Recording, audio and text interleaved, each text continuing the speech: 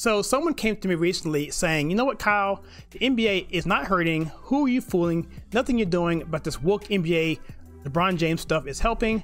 And then I pointed them to this.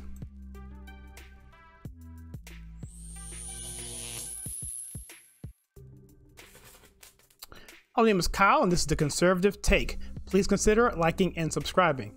In this video, I'm going to talk to you guys about what's going on with the NBA ratings tanking again. I'm to talk to you about LeBron James a little bit, about why he's helping it to tank again, and what the NBA is planning to do about what this is happening and, and to them, and how they essentially are admitting that they have problems and they don't want to come out directly and say that, but they come out with something really ridiculous like bringing in Spider Man and Black Panther and Captain America to help save the day. But before we get into that, let's look at this particular article as a recap of what's going on. Gateway Pundit, we've covered a lot of stuff before, but the NBA ratings fall since going woke left, down 45% since 2012. Now, we didn't cover this article specifically, but the key points in here are something you are not unfamiliar with if this is not your first time here on this channel. The biggest mistake the political professional sports have ever made was the decision to embrace left wing politics. I agree. It, you go woke, you go broke. People don't want their politics in sports. That it's been defined, it's been established, and it's showing in just about every single thing in pop culture. People don't want it. The whole point of going to TV and entertainment is to not think. I mentioned before about being amused. Amused is the opposite of being of learning. You want to tune out. And so that's what this is about. And people aren't liking it. And particularly when you add in what LeBron James recently did. If you don't know what that is, click some links below and above to find out what he did. If you have no idea what he did with the police officer and the shooting in Columbus, Ohio, and his doubling down and tripling down on his stupidity of just being an ignorant person who is causing more harm to this country than anything else, while at the same time enriching himself in his pocket by shilling for the media and everyone else like China. And so it's really disgusting. But here we go. Coming into the 2021 season, NBA games on ABC, the, the league's most important partner, were down 45% since 2012 2011. On cable, it's only slightly less damning. NBA broadcasts on TNT were down 40% and 20% on ESPN. Again, we talked about this before in video last week. No big deal. I just want to just cover this again so I can go into the other part of it so it makes more sense. The past two NBA finals crashed to double digit declines, with the most recent falling down 51% to an all time record low. Last season's NBA on ABC games fit that same category, recording the lowest average 2.95 million on record. This will break again, this record will break again this season. So it's going further and further down. This is unprecedented. NBA is going for all time record lows for the regular season. And I can't be happier. says here, this is Strauss, he writes, he says, eventually, this is the athletic uh, Ethan writer, Ethan Strauss, he's the writer there. He says eventually it will be official. The NBA again lost viewership on its ABC, again, its most important partner, games down from last season's all-time low. Remember, ABC, ESPN, Disney. You'll see the catch in a second here. Based on how this average drops as the season moves along, it starts off highest after Christmas Games Bonanza. We can safely project that the ABC games will finish at a mark that's lower than last season. That is absolutely incredible. Let's keep going here. The NBA, more than any other league, relies on one or two guys to be the face of the league. Magic, Bird. Their their rises and falls depend on who that face is. Again, Magic and Bird, league was good. Jordan, league was supernova. And LeBron James, league nosediving. I don't know why anyone doesn't see this. And LeBron James doubling down on the Cleveland restaurant, was the Cleveland or Cincinnati? A restaurant in Ohio basically said they're not going to show any NBA games. And LeBron tweeted out, "Oh, well, I wish I, I guess I can't go there because I, I can't go because I was gonna go to a Burger House game, but watch my team play." Yeah, whatever.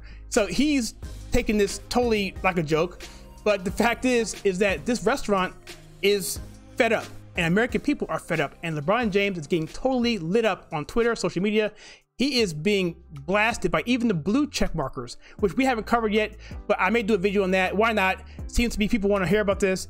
Uh, I don't like talking about LeBron, but I do want to call him out for his stupidity, especially dealing with that shooting in Columbus, Ohio. Again, links above, below. find out for yourself if you don't know what that is about. But he basically doxxes a police officer when a police officer saved the life of a woman, and it was and LeBron James has yet to apologize for that, and NBA has yet to admonish him or say anything about it. The shills in the media outside of Outkick.com have done nothing to said about it because they are afraid to make LeBron mad. They don't want to do that because he's LeBron James and we're, we won't get our VIP tickets when we want to go out to a junket or whatever. The shill media across the board is just pathetic and they aren't doing their jobs. They're in it for themselves and their own careers, I imagine, and not looking at the truth and putting it out for people who want to know it. So, anyway, that's the backdrop here. And let's check out what's going on here. So now we have ESPN Marvel team up for superhero filled NBA telecast. You can't make this up. You're going to have two Disney divisions will represent an alternate version of a game featuring Iron Man, Captain America, and other members of the Avengers. Okay, let's just break this down for you because this is what this channel is all about, right? Captain Marvel, we have the MCU, we have Star Wars, and those two things basically messed up the MCU. Captain Marvel began to do that, but fortunately for them, the MCU was already wrapping up their their fourth uh, phase of of, of uh, movies. But Star Wars had just getting started off, and Kathleen Kennedy and those guys wrecked the system with uh, Solo and The Last Jedi and just horrible stuff all this wokeness embedded into the culture ruined those two franchises. So the only one they have left really is the MCU. And so now they're bringing them in with Iron Man and Captain America, of all people. I thought they hated America and the Avengers to have some sort of alternate reality type telecast involving the, I guess it here says ESPN and Marvel will present an alternate teleca- telecast of the May 3rd NBA contest between Golden State Warriors Mr. Woke, uh, Curry, and New Orleans Pelicans game that will feature an all in-game storytelling feature members of the Avengers and other superhero theme elements. So they're going to try to bring fans back by bringing in Black Panther and Captain Marvel and Captain America and Black Widow and Doctor Strange. But you know what? Outside of the people who are the faithful for the NBA fans, fans, this will not play well. I'm telling you right now, this will not play well. It may play well for the little kiddies, the little Space Jam kiddies who want to watch, you know, some of this, some of the heroes on, on TV, and it may help with indoctrinating them for the future use. But for now, the fans right now are just turned off with NBA. They're gonna see this as total desperation. They're gonna wish that Thanos would come down and just wipe out everything, do the snap, and get rid of the entire league. I wish they would do that. I wish they would just like boycott and never come back.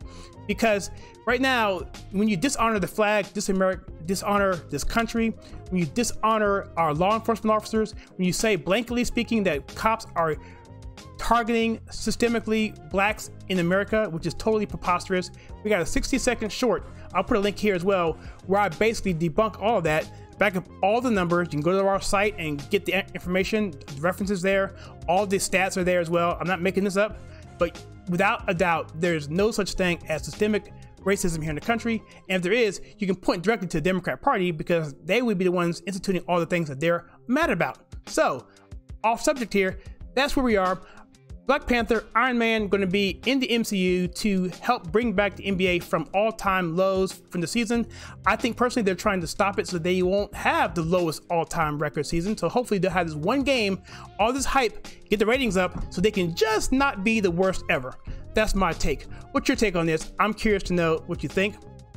And if you like what we do in this channel we take culture TV, movie news and politics and filter it to you in a conservative manner, in other words, filter it to you right, then please click the like and subscribe button and, you know, that bell icon so you don't miss any future content.